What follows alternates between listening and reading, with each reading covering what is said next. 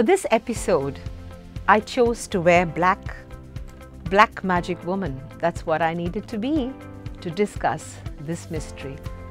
Black is perfectly matched with silver, totally complementing each other.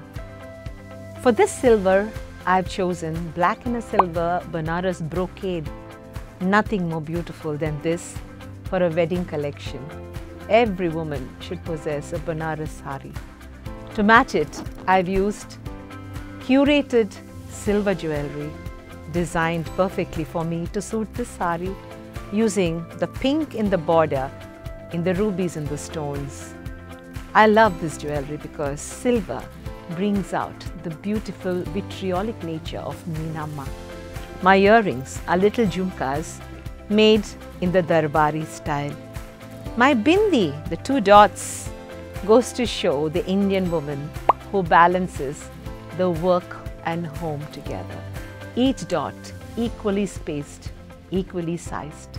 The modern Indian woman, the girl who rocks the world, the Desi girl who balances everything to perfection. Thank you to all our daughters, to all our young friends for making the Indian girl so precious.